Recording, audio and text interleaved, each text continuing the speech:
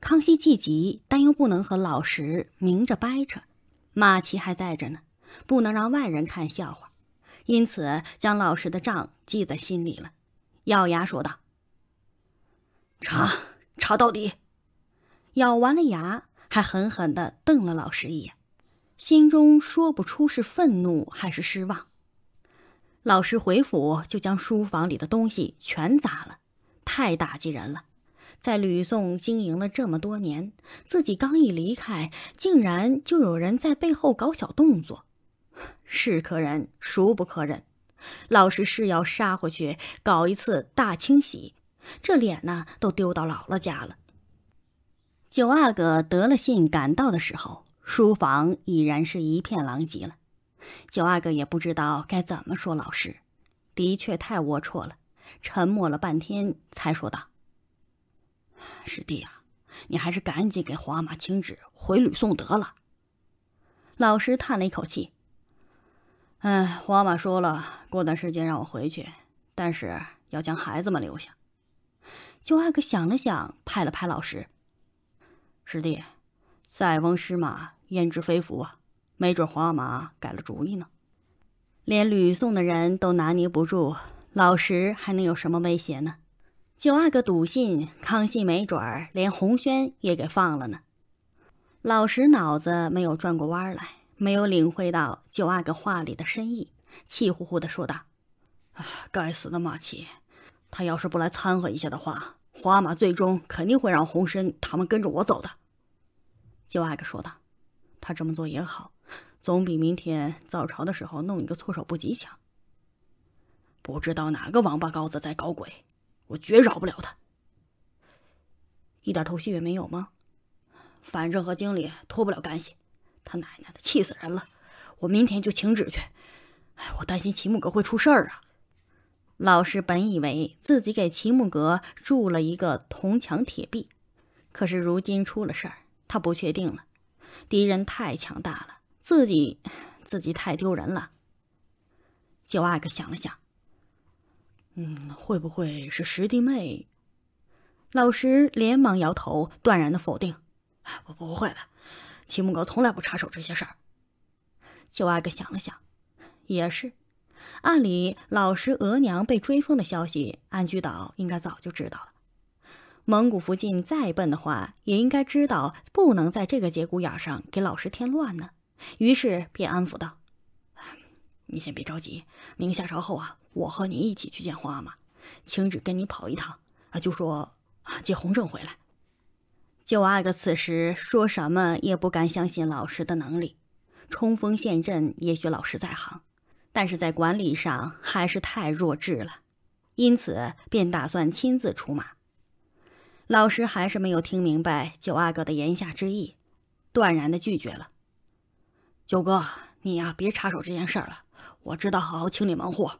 说完，还愤愤地骂了一声：“王八羔子，真是吃了豹子胆了！看我怎么收拾你们！”第二天早朝，不出意料，御史的火力全都对准了老师。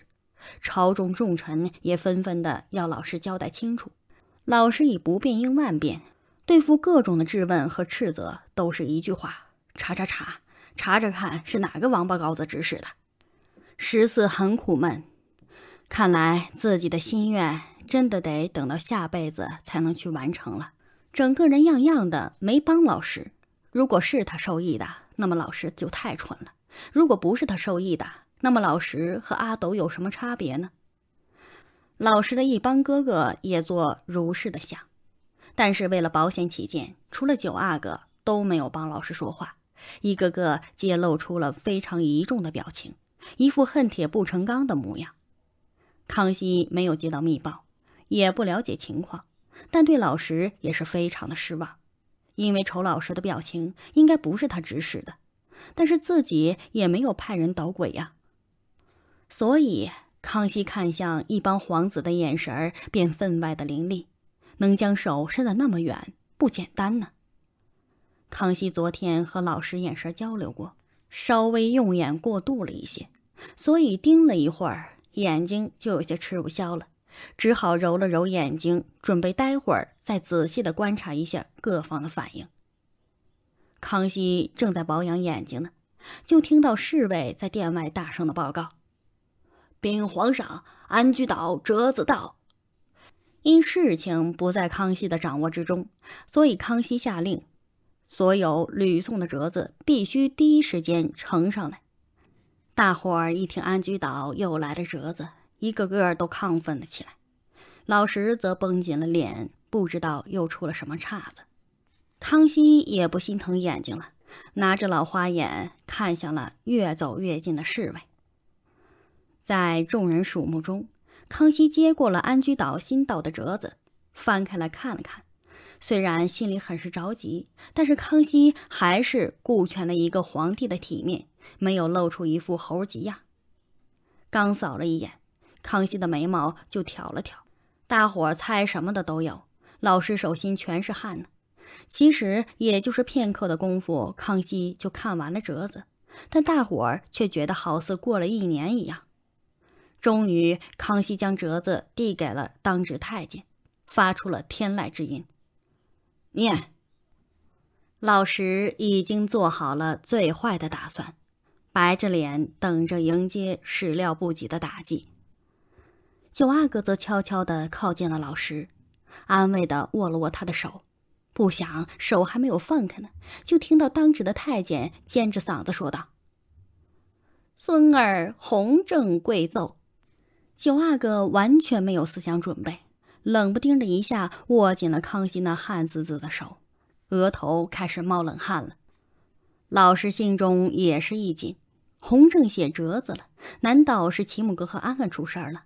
也条件反射般的握住了九阿哥的手，巴巴的盯着当值的太监一张一合的嘴，而其他的人也都是在第一时间瞅向了九阿哥。于是，兄弟两人手拉着手的这一幕也落在了大伙儿的眼中。洪正虽然是读过了几年书，但水平非常的有限，比老师当年好那么一点儿，但是赶上九阿哥却差远了，用词非常的幼稚，这个主意嘛也不怎么成熟。不过，若是考虑到他的年纪，其实已经是非常不错了。洪正郑重其事地向康熙报告：英国商船在海上无端的攻击大清帆船，说造成了巨大的经济损失。但大海茫茫，没法击凶，大清子民只能自认倒霉了，令人十分的扼腕。洪正懊恼完后，便开始为朝廷居安思危了，认为任由洋人的海船载满了大炮到大清港口停泊，隐患太大了。万一洋人起了歹心，一下子涌来了几十条船，那战斗力可不是一点半点的了。虽然洪正对大清水师倍儿有信心，但是还是认为防患于未然比较好。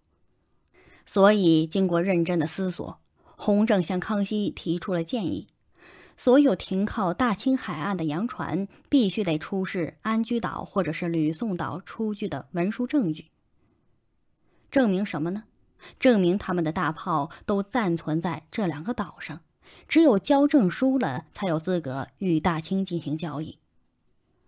洪正说了，为了大清漫长海岸线的安全，安居岛和吕宋岛承担一些风险是应该的，毕竟不是本土嘛。他们不吃亏，难道叫广州吃亏吗？所以。洪正便叫安居岛海关衙门的负责人给广州海关衙门发了个公文，拟定了临时操作的指南，作为附件也一并发了过去，请他们指正，还告诉他们，即便是日后洋人若是不停泊安居岛或者是吕宋，再到大清本土港口前，都不会知道朝廷出了个这么个章程，所以目前可以拿到英国作为试点。勒令他们回航到安居岛或者吕宋，将大炮卸下来再说，也顺便给两岛带一些收益。总不能给他们白保管吧？当然了，安居岛如今已经做好了寄存服务的准备，可以叫英国人都到安居岛来。毕竟吕宋岛是否也给寄存服务，得康熙说了算。大伙儿听了之后，都摇头看向了九阿哥，嗨。真是不是一家人不进家门呢。没想到洪正小小的年纪就如此的财迷。九阿哥的表情有些复杂，但还是比较抱歉的看了看老石。没想到是洪正这个王八蛋惹的事儿。老石却没有看九阿哥，而是一脸讪讪的看了看康熙。按理接下来应该是安安上的折子，因为广州衙门传来的吕宋岛水师游击的折子涉及到了农桑保护政策。据老师所知，前段时间因为要支援苏禄岛的地震灾区，安居岛军营仓库要调拨许多的物资，安安随到军营仓库观摩，学到什么老师不大清楚，但却知道有两个后继影响。一是提刀追杀张守备，二是开始关心起农民的生活问题，对丰收农民收入不涨很是不平。所以老师对自己误骂到安安，并冤枉了康熙，有些很难为情。不想接下来却让老师傻了眼，农耕问题竟然还是洪正的主意。洪正说了，安居岛的移民大多都是没什么家产。虽然减免了开头三年的赋税，但是生活依旧非常的艰辛。所以，为了让移民觉得生活有奔头，决定在安居岛实施农产品最低的收购价，保护农民的利益，避免丰收后粮贱伤民。但是，吕宋岛与安居岛太接近了，如果只是安居岛实施，难免会引发吕宋岛的移民潮。但是吕宋岛是实实在在的大清地盘啊，洪正无权逾越，只好将安居岛的海关衙门给吕宋岛的大清水师游击发了一道文书，通知他们提前想对策。太监念完之后，九阿哥已经跪下来请罪了，说自己这个当爹的愿意为洪正这个胡作非为负责任，但是话中却透着那么一点得意。哪个皇孙不到十岁的时候能有这番的见识啊？老石则愣在那里，倒不是糊涂为什么洪正抢了安安的功劳，而是隐约觉得齐木格与此事脱不了干系。否则，怎么洪正都没有提到安安呢？而且，若是齐木格插手，那么洪正能指挥得动海关衙门，也就能解释得通了。老师和九阿哥一个发愣，一个心中得意，却忘了一帮兄弟的感受了。三阿哥似笑非笑的看了眼老师，挑拨道：“ 哟，洪正小小的年纪哪能想的这么多呀？该不是被人当了枪使吧？”其他的兄弟皆微微的点头。洪正在上书房可是好几年了，怎么从来都没有听过他聪颖过人呢？怎么一到安居岛就成了小大人了呢？老师冷笑道：“三哥，你把话说清楚了，谁拿洪正当枪使了？”三阿哥则反驳道：“三哥，我家洪正脑袋瓜子好使着呢，小小的年纪可就被皇阿玛封为了世子，谁家府上的世子比他年纪小啊？”康熙觉得胸口有些发堵，早早封洪正是其九阿哥的。没想到，却搬起了石头砸到了自己的脚。四阿哥也出声了：“洪正这些日子的确是出息了许多。”康熙一听，对三阿哥鄙视了：“ 瞧瞧人家老四都会说话呀，明着夸洪正，其实啊是告诉大家，怎么洪正一到安居岛就突然出息了呢？”康熙认为，三阿哥简直就是妄自自称为文人。说话的水平简直和老师一样丢人呢。九阿哥仰起了头，说道：“读万卷书不如行万里路嘛。”康熙摆了摆手，制止了他们对弘正智商的进一步讨论，而是叫大家商议商议弘正的两个提议是否可行。这世道就是这么不公平，若是老石提的，那老石就是其心可诛；换成弘正提的，尽管康熙心存疑虑，但是还是很大度的叫大伙儿讨论了关于叫船卸炮的问题，大家没什么反对意见，但却不赞成立马拿上英国人开刀，毕竟朝廷没有宣传过呀，容易出乱子，还是先大肆的宣传为好。不仅广州海关衙门要宣传，而且驻扎在吕宋的水师更是应该加强海上的巡逻次数，对过往的船只发发宣传单，宣传个大半年再实施不迟啊。至于农产品最低收购价，朝堂上则全是一片的反对声。安居岛虽然还没有正式的划进大清的版图，但是沿海一带可没人认为安居岛是蛮夷。安居岛这么搞，吕宋岛肯定也只能跟着搞。这么接下来呢，本土怎么办呢？搞还是不搞？搞的话，若是遇到丰年，朝廷哪有那么多的银子去买农民的粮食？若是不搞，那岂不是告诉大家，朝廷对南洋流民比对本土的良民还好吗？这不是鼓励大家都跑到吕宋去吗？届时还不知道荒芜多少地呢。说到后来，朝廷上也有人将矛头指向了老师，认为洪正此举是受老石指使的。老石眉头紧锁：“我让洪正搞这么一出，对我有什么好处啊？”大家也都提出了自己的疑问。洪正虽然是世子，但是若没有十阿哥的许可，安居岛的人会听他的吗？老师也不知道该怎么回答。按理说，洪正是插不到手的。但事实摆在眼前，洪正的确在安居岛发号施令了，那只能有一个解释，就是齐木格插手了。但是话不仅不能说，而且还打死了都不能承认，所以老师只好说道：“大家知道我喜欢洪正，加之认为他说的在理，自然就听了。”朝议最后在吵吵嚷嚷中结束的。虽然大家都还怀疑老师在背后搞鬼，但洪正毕竟站出来了，老石的压力小了许多。散朝后，因为惊喜而有些昏头的九阿哥也清醒了过来，拉着老石上了马车，问他洪正怎么能指挥得动安居岛的行政机构，到底是哪出了乱子？老石想了想，啊，连张守备都敢砍，洪正怕更是。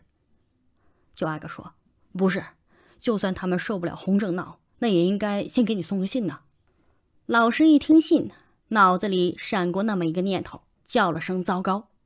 的确，年还没有过完呢，老师就收到了齐木格的信，先对自己的婆婆荣登皇后的宝座表示了祝贺，然后便大篇幅的叫老师保重好身体，约束好三胞胎。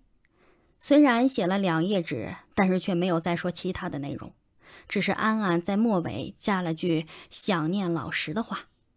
老石有种不好的感觉，大概自己误事儿了。